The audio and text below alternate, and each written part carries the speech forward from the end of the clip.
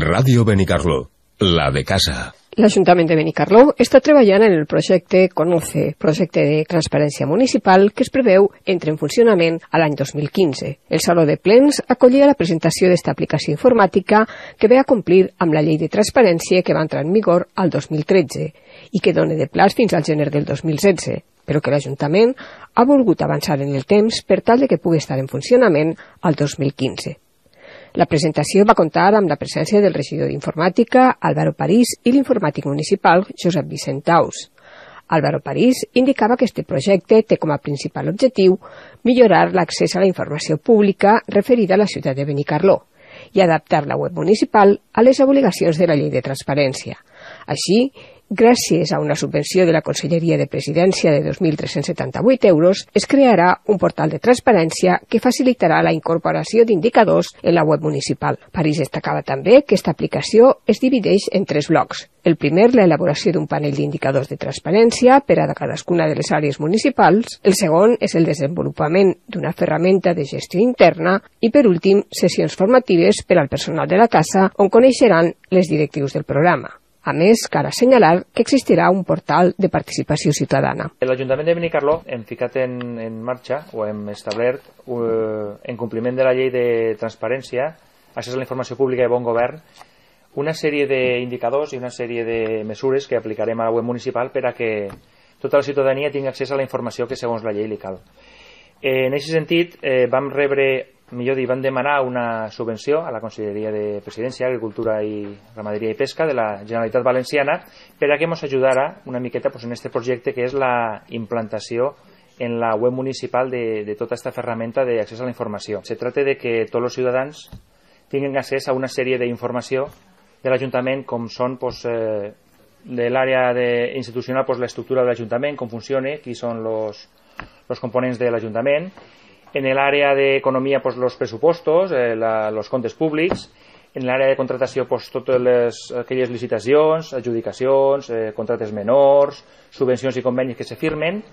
També hi ha un portal de participació ciutadana i tot això que ve regulat per una llei que és la que he inventat antes, la llei de transparència, que se va, va entrar en vigor a finals de 2013, al desembre de 2013, i que dona un plaç a gener de 2016 per a que s'implante en tota l'administració pública. Nosaltres no hem volgut esperar tant, nosaltres volem ficar-la en marxa ja, així doncs, també tenim un temps per a que se pugui adaptar correctament i doncs, els ciutadans tinguin accés a ella.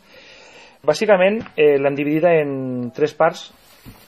La primera és l'elaboració d'un panel d'indicadors de transparència per cada una de les àrees municipals per a poder segmentar una miqueta cada una de les àrees el que té que publicar i lo que, allò a lo que tindrà accés el ciutadà. La segona part és el desenvolupament d'una ferramenta de gestió interna, que és la part més tècnica del projecte, i per últim també hi ha una sèrie de sessions formatives que se faran al personal de la casa per a que sàpiguen com implantar-lo en cada una de les seues àrees.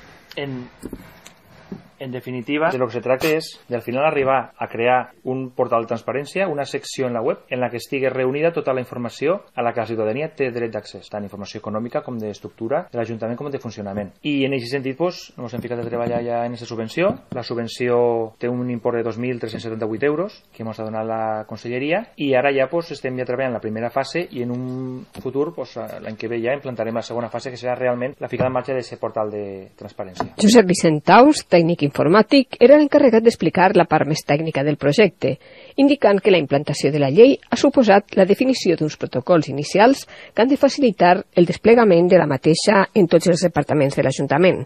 Taus va destacar també que es tracta d'un software lliure que en el cas de que així ho consideren oportú el poden adaptar per al seu ús altres ajuntaments.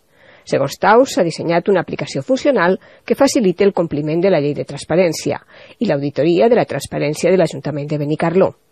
Taus explicava també que cadascun dels departaments del consistori comptarà amb un responsable de penjar la informació. Afegir que una vegada finalitzat el projecte, els ciutadans podran accedir ràpidament dia a dia a la informació de l'Ajuntament. El paper del, dels serveis informàtics en aquest projecte eh, bàsicament ha sigut el de coordinar el, els diversos departaments de l'Ajuntament en el desplegament del, del, de la llei de transparència hacia l'Ajuntament de Benicarló. En aquest sentit, ja Álvaro ja ha explicat que és, quines han sigut les principals feines que han fet nosaltres. Hem definit uns protocols inicials pel desplegament. És un projecte que ara es comença, però s'ha d'anar s'ha d'anar escampant a tot l'Ajuntament, s'ha d'anar augmentant la quantitat d'indicadors a incloure i com ell bé dia la part més tècnica que ens ha tocat a nosaltres, específicament informàtica, és el disseny d'una aplicació per facilitar als diferents departaments, que són els que també han de fer la seva feina al, al definir els indicadors, per facilitar-los el, el treball. El treball. Els objectius de l'aplicació són, com ja he dit, simplificar els treballs de verificació i millora del compliment dels indicadors de transparència i per l'altra, la coordinació dels treballs de, derivats de, del compliment de la llei, ja siguin mm, l'agenda de, de reunions, eh, un repositori documental, mm, totes tot aquelles altres faenes que, que són necessàries per desplegar el que és la transparència a l'Ajuntament. L'aplicació informàtica la podem definir com una ferramenta d'auditoria de la transparència. Pel que fa a aspectes purament tècnics informàtics, eh, cal, des cal destacar que, la web, eh, que, la, que se tracta d'una aplicació web i que Mm, els clients l'únic que necessiten és un navegador que complisca els estàndards del World Wide Web eh, Consortium. Pel seu desenvolupament hem, hem utilitzat ex exclusivament tecnologia lliure i per instal·lar-la realment fa falta molt poquet, molt poca infraestructura. Això fa que també siga una aplicació altament portable que si altres administracions locals eh, volgueren podrien aprofitar-la. Des del punt de vista funcional, l'aplicació se basa en la planificació dels treballs d'auditoria eh, de cada un dels indicadors de transparència i la complementació assistida d'una sèrie d'ítems claus de cada indicador.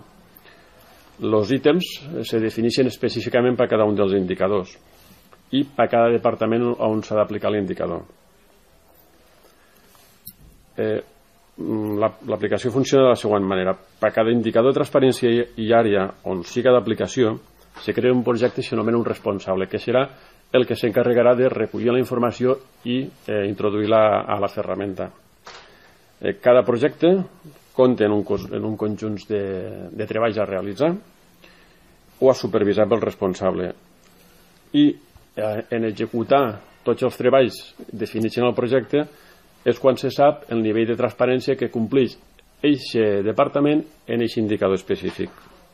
De l'execució de tots els indicadors de, de tots els projectes, de cada un dels indicadors de l'àrea, podem saber el nivell de transparència d'aquesta àrea i complimentant tots els indicadors de totes les àrees podem saber el nivell de compliment de transparència de l'Ajuntament